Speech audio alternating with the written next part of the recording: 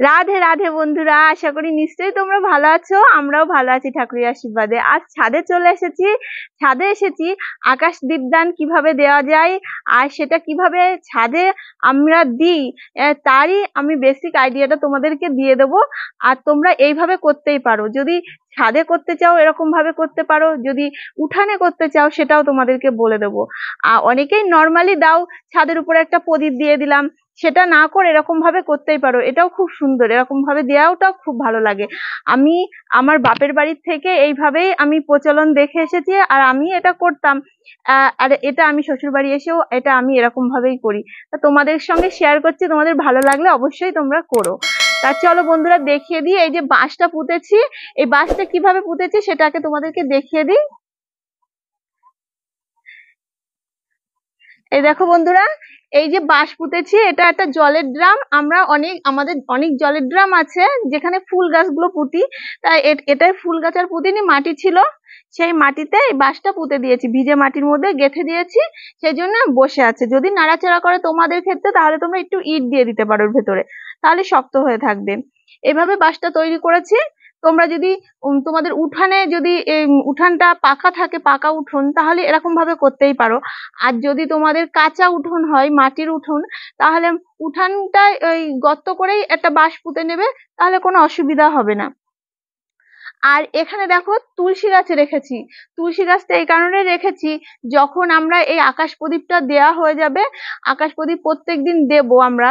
সকালবেলায় এই তুলসী গাছের চারিপাশে পরিক্রমা করা যাবে এবং রাত্রিবেলায় যখন, সন্ধ্যাবেলায় যখন আকাশ প্রদীপটা আমরা দেব, তখনও পরিক্রমা করা যাবে। কারণ তুলসী মন্দির সবার অনেকের এমন এমন জায়গায় থাকে তার চারিপাশে পরিক্রমা করা যায় না। সেহেতু এরকম ভাবে পরিক্রমা করা যেতেই পারে। আর এই যে আকাশ প্রদীপ আমরা যে দেব, এই থালাটার উপরে তোমাদেরকে দেখিয়ে দিই। এই দেখো বন্ধুরা, এই যে একটা থালা, এটার চারপাশে দেখো, এটা এগুলো শক্ত শক্ত, ওই তার হয় লোহার তার, সেই লোহার তারগুলোকে এইভাবে আমি এই জড়ি কাপড় দিয়ে জড়িয়ে দিয়েছিলাম। আর এখানে আছে একটা স্টিলের থালা, এই স্টিলের থালা তোমরা যে কোনো দোকানে পেয়ে যাবে কিংবা ফেরিওয়ালার কাছ থেকেও পেয়ে যাবে। খুব বেশি দাম না, নতুন একটা থালা। এটাকে এই তিনটে দিকে ছিদ্র করে নিয়েছি নতুন অবস্থায়। করে নিয়ে এটাকে হচ্ছে এইভাবে লাঠির সাহায্যে বেঁধে রেখে দিয়েছি। এই এইবার এটাকে ওই বাঁশের সাথে বেঁধে দেবো, তাহলে এরকম ঝুলে থাকবে। তোমরা কখনোই এখানে সুতো ব্যবহার করবে না। তাহলে কি হবে? এখানে যখন আমরা প্রদীপটা বসাবো, তখন এই প্রদীপের আলোয় প্রদীপের তাপে এই দড়িগুলো, এখানে যদি দড়ি দাও সেগুলো পুড়ে যাবে। আর যদি লোহার তার দিয়ে রাখো তাহলে কোনো অসুবিধা হবে না। সেই ক্ষেত্রে তোমরা যদি থালা না দিতে চাও, তোমরা একটা লোহার কোনো কিছু দিতে পারো।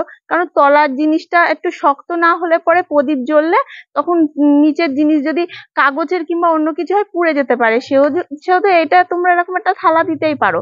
কোনো অসুবিধা হবে না। আর এ খুব বেশি দাম না। তোমরা জানোই বিভিন্ন ফেরিওয়ালারা যায় একদম কম দাম। তোমরা একটা এরকম থালা ব্যবহার করতেই পারো, নতুন অবস্থায় ছিদ্র করতে পারো। অথবা তোমাদের বিভিন্ন রকম যদি ঠাকুরের রেকাপ থাকে না, ছিদ্র হয়ে যায়, ঠাকুরের কাজে ব্যবহার করতে পারি না, সেক্ষেত্রে তোমরা একটা ওরকম রেকাপ ব্যবহার করতেই পারো। এবার যদি বলো, এটা স্টিলের, এটাতে আমরা ব্যবহার করছি কেন? প্রদীপ দেওয়ার স্টিলের, এটা তো আমরা প্রদীপ দিচ্ছি না, প্রদীপটা আমাদের মাটির কিংবা তেতলের কিংবা তামার বিভিন্ন রকম হতে পারে। এটা জাস্ট এর উপরে রাখব বলে সেই জন্য এই জিনিসটা। তাহলে বন্ধুরা দেখিয়ে দিই কীভাবে বাঁধছি আমি ওই বাঁশের সাথে তোমাদেরকে দেখিয়ে দিই।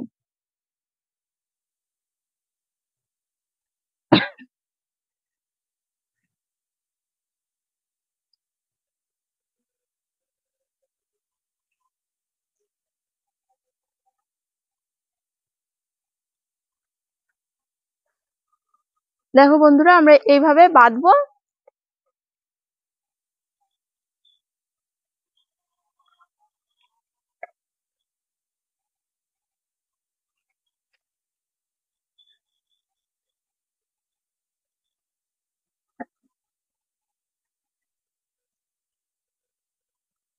বন্ধুরা, আমার ভালো করে বাঁধা হয়ে গেছে।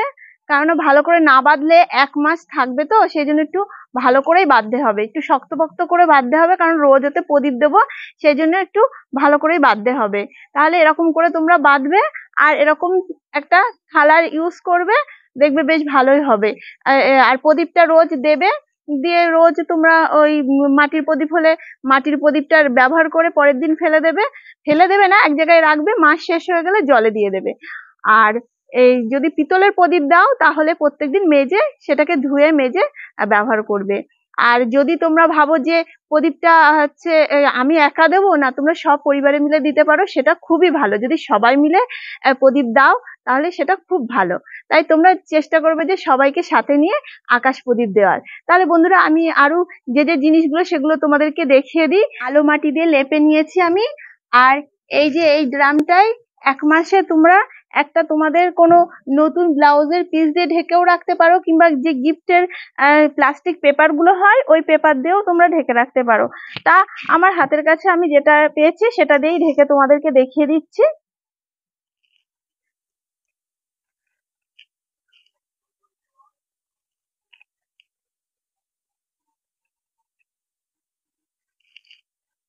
এইভাবে করে নেবে তোমরা।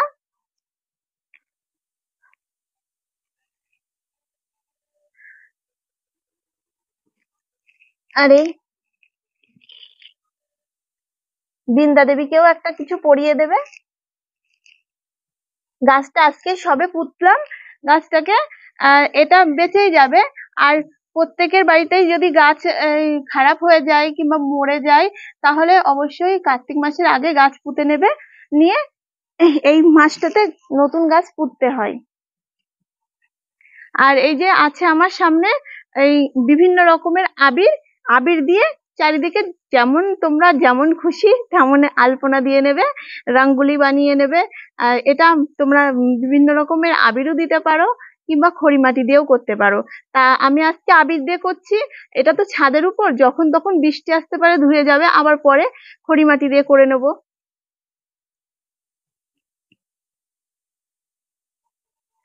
তোমাদের মন মতো আলপনা দিয়ে নেবে। আর বিভিন্ন রং দিয়ে দেওয়া খুব ভালো, সেই জন্য সব রকম রং নিয়েছি।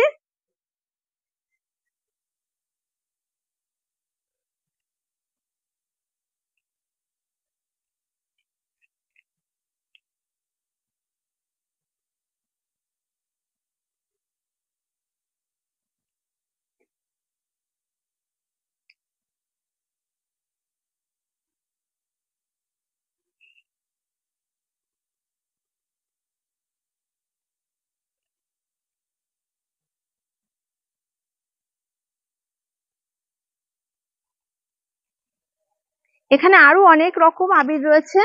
এখন সব রকমের আবির আমি ছুঁয়ে দিলাম, পরে আমি সুন্দর করে করে নেব।